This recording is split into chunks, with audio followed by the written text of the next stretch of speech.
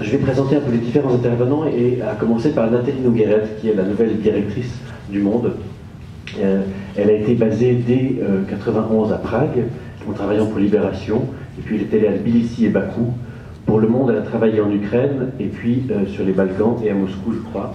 Et en 2001, elle est devenue correspondante du Monde à Moscou jusqu'en 2005, année où elle a reçu le prix Albert Londres pour ses reportages en Tchétchénie et sur la prise d'otage de Beslan.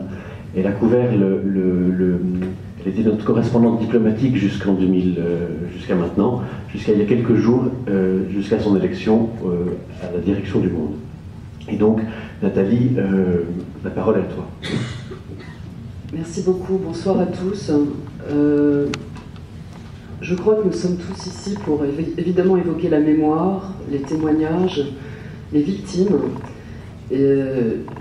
J'ai travaillé en Russie et, je me suis, comme bien des correspondants en Russie, plongé dans cette mémoire euh, des, années de la répression stalinienne, des années du goulag. Et je voulais juste euh, témoigner et raconter des choses qui sont sans doute très proches de, ce que Nicolas Vert a, vu euh, lors de son voyage à la Colima, qu'il a, raconté dans un, livre excellent, La route de la Colima, qui est paru récemment, et aussi évidemment des choses que Arseny Robinski, qui, est ici, connaît très très bien, de l'association mémoriale à, Moscou, qu'il préside. lorsque j'étais correspondante en Russie, l'association mémoriale m'a énormément aidée à aborder tout ce volet euh, de la mémoire. Et pas seulement ça, aussi le, volet de l'actualité, de, de, la réalité d'aujourd'hui euh, en Russie. Euh, je voulais juste parler de, de ces paradoxes de la Russie d'aujourd'hui. lorsque je suis allée à, la Colima, c'était en hiver, en, en février, il y, a, plusieurs années.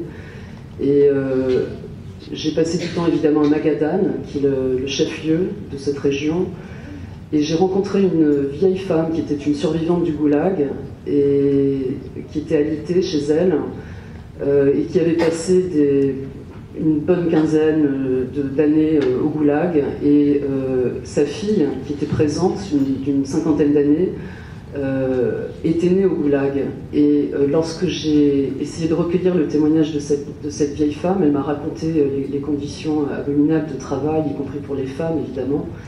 Et au bout du témoignage, je me suis tournée vers sa fille et je lui ai demandé ce qu'elle faisait dans la vie. Et elle m'a dit qu'elle était la responsable locale du, parti Russie Unie de, Vladimir Poutine. Et je me suis retrouvée face à ce paradoxe euh, voilà, d'une génération à l'autre, euh, d'un côté la victime, euh, de l'autre aussi une victime, puisqu'elle était née au goulag, mais elle avait rejoint le parti de, Vladimir Poutine, évidemment, ancien responsable du, du KGB. elle ne faisait pas forcément le lien, elle n'était pas dans cette contradiction dans, cette, dans sa tête. Et j'ai pas réussi à percer le, mystère. Et je pense que c'est un aspect que Robinski pourra certainement, euh, sur lequel il pourra certainement nous, éclairer. Un autre paradoxe, je suis allée euh, dans une ville qui s'appelle Yagodna, qui, qui, est au cœur de la Colima, où s'est aussi rendu euh, Nicolas Vert. Et j'ai rencontré là-bas un, ancien ouvrier, c'est une région de, de mine d'or, et qui s'appelle Ivan Panikarov, et lui avait créé dans son appartement, dans un vieil immeuble de l'époque de Khrouchtchev, euh, avait créé un musée privé dans deux petites pièces minuscules. Euh, il s'était pris de passion pour euh, les survivants du goulag, ceux qui étaient restés dans la région, essentiellement des vieilles personnes. Et il avait commencé à collecter des objets, des objets des ZEC, les, anciens prisonniers, des, vestes molletonnées, euh, des casseroles fabriquées avec des boîtes de conserve, des clous. Euh, et il ramassait ces objets dans des, dans des territoires absolument immenses où n'existait aucun monument. Je n'ai vu aucun monument euh, en la mémoire des, victimes de, de, ce gigantesque camp de travail et de mort hein, qui était la Colima et l'empire du Dalstroy, le, le système qui, exploitait les, mines d'or et qui charriait vers cette région des milliers et des milliers de, prisonniers. Et Ivan Panikarov m'a raconté la difficulté qu'il rencontrait à, ramasser des objets, non pas à recueillir des témoignages, parce que les gens lui parlaient volontiers, mais à faire vivre cette mémoire et à obtenir le soutien des autorités locales pour que son minuscule euh, musée puisse avoir euh, ne serait-ce que quelques moyens financiers.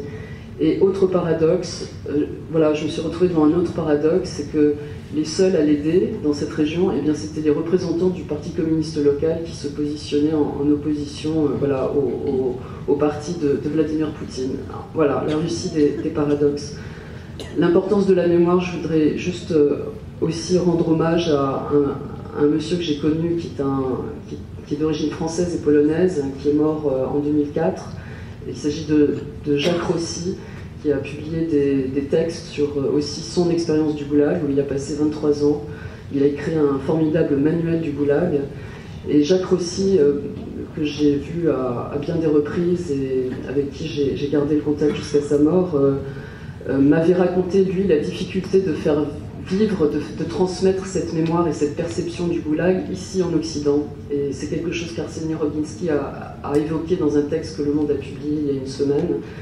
Euh, la perception de cette mémoire des, répressions staliniennes ici en Occident, euh, ça n'a jamais été simple. Et Jacques Rossi euh, m'avait raconté qu'en 1985, lorsqu'enfin, après 23 ans de goulag, il a pu sortir il, était sorti du goulag en 1961 pour être précise, et ensuite il était parti vivre en, Pologne.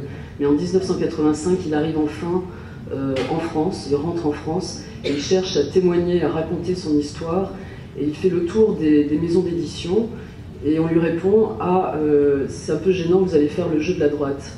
Voilà, j'ai toujours été frappé par, euh, par ce témoignage-là. Et un dernier mot à propos de la Russie d'aujourd'hui, il y a toujours dans le centre de Moscou, euh, pas loin de la Lubyanka, l'ancien siège du KGB, aujourd'hui siège du, FSB, les services secrets russes, il y a une pierre qui s'appelle la pierre des Solovki et qui est là pour marquer euh, la mémoire des victimes des répressions. Et sauf erreur de ma part, Arseny va peut-être me corriger, mais je crois, que Vladimir Poutine ne s'est jamais rendu euh, devant cette pierre à l'occasion de la journée des victimes des répressions politiques. Et ça dit aussi quelque chose de, la Russie d'aujourd'hui. Merci.